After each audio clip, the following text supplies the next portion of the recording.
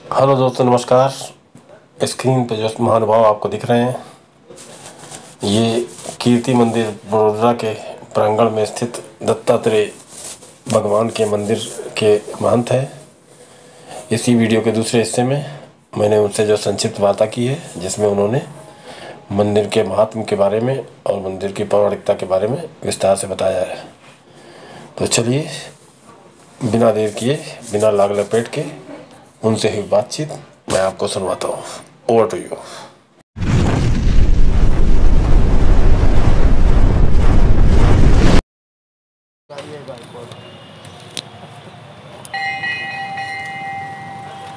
गुरुदेव गुरुदेव અરે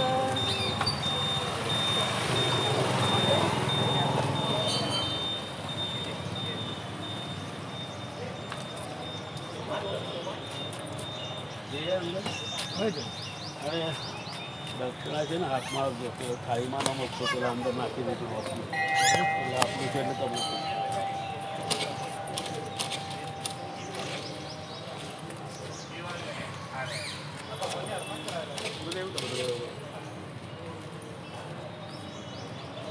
दोस्तों नमस्कार। आपके चैनल रूसिन इन कानपुर पे आ, मंदिरों में पवित्र भावनाएँ विराजमान होती हैं। तो आज मैं एक अति प्रसिद्ध मंदिर में आया हूँ। मंदिर के महंत आप महंत जी हैं ना सर तो एक आध सवाल का जवाब अगर दे दें तो मेरे कैमरे पे आ जाएगा। क्या सवाल? रिकॉर्ड हो जाएगा। अ, ये मंदिर जो आप मुझे बता रहे हैं ये दत्तात्रेय जी का विष्णु जी कितना पुराना मंदिर है मंदिर? ये मंदिर ढाई सौ तीन सौ साल हो गए लगभग। मेरी तीसरी पीढ़ी चलती है। आप आपका शुभ नाम? सूर्यकांत भाई सूर्यकांत वैद्य जी।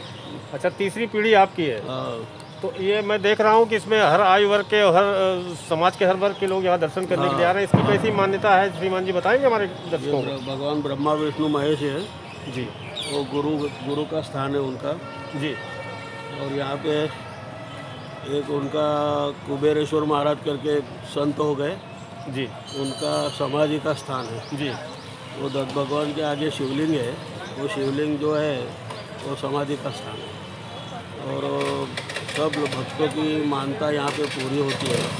और गुरु जिसको प्रॉब्लम है तो गुरु का दान यानी चना की दाल है गोड़ है ऐसा कुछ चढ़ावे जी। फूल पीड़ा कर मान्यता मानते हैं। हाँ तो मानता रखते हैं तो वो चढ़ाते अपने।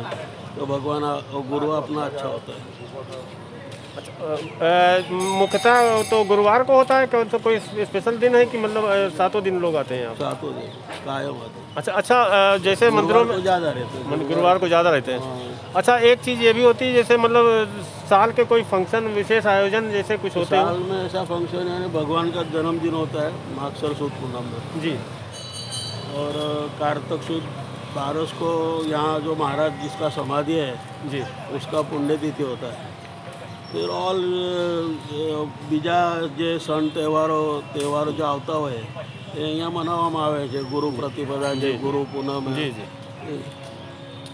अच्छा दूसरी चीज़ ये ये जो मंदिर बना आपने बताया था कि काफ़ी पुराना है तो ये गायकवाड़ों के टाइम का ही मंदिर भी है गायकवाड़ के टाइम का है खंडेराव महाराज गायकवाड़ के टाइम पे ये मंदिर बना है और जो आपने बताया ये बड़ी वाली इमारत जो बनी हुई है ये कीर्ति मंदिर में तो गायकवाड़ सरकार फैमिली के जो आदमी गए हैं मृत हो गए उनका स्मशान यहाँ पे पीछे है।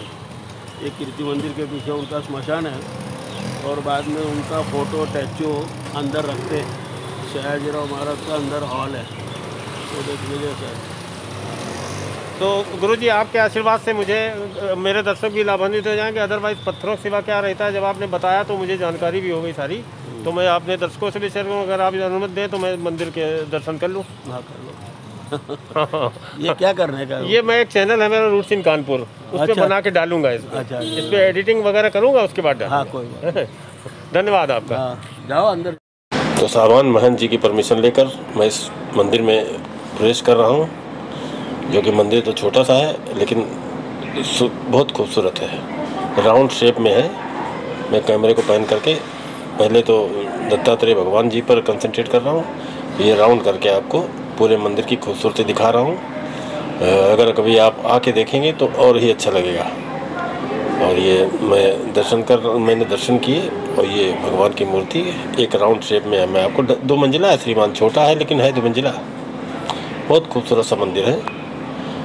और इस तरह से मेरी ये दत्तात्रेय मंदिर की यात्रा पूरी हुई। है सामने जो दिख रहा है, यही कीर्ति मंदिर है श्रीमान। इसका भी आगे वीडियो बनाऊँगा।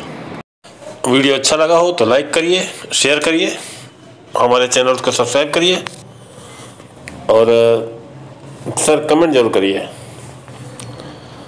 तो इस वीडियो की बात यहीं तक, जल्द मिलेंगे। Good bye.